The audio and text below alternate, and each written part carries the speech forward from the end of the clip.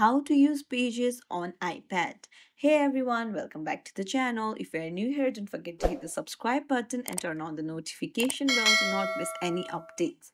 So if you're new to using Pages on your iPad, you're in the right place. In today's quick tutorial, I'll show you how to create, edit and format documents with ease using Apple's powerful word processing app.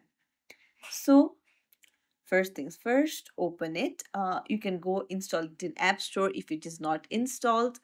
And then you can use it like microsoft word which is available in the apple devices. Hit continue. And now you can just tap on start writing and it will give you a blank page where you can create anything that you want.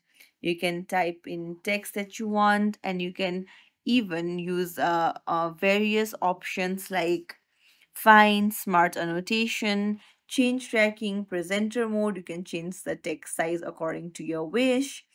And then uh, you can even put bookmarks. Uh, you can even use the paintbrush option and then here you'll get the uh, paragraph style that you can change according to your wish.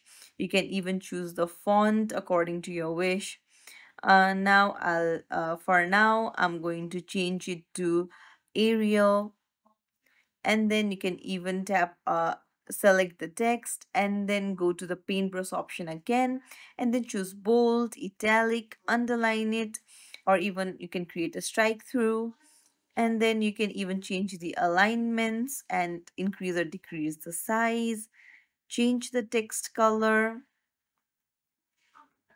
it's really simple to use it and it's exactly like Microsoft Word but for your iPad. Now, if you want to create a list, then you can uh, go to bullet points and choose the uh, bullet point that you like. And then even change the line, line spacing by uh, tapping on the plus and minus. Come back. And then you can even choose the drop cap option uh, if you don't want it, just toggle it off. And there's paragraph borders and backgrounds as well. Now, uh, other than that, you can even choose your own templates. You can come back.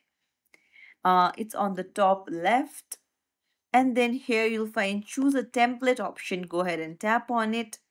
And then it will give you various templates like basic templates, reports, uh, uh, book templates, uh, landscape templates for your presentations, and even letter, resumes, flyers, and poster templates. It's like uh, everything is made really simple by this Pages app.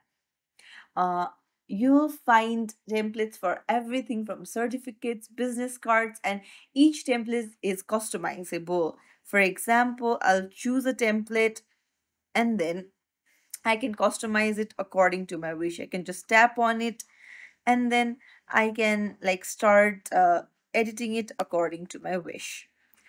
And that's it. You're now ready to create stunning documents using pages on your iPad. If you found this video helpful, don't forget to like and subscribe for more tutorials. And thank you for watching. See you in the next video, everyone.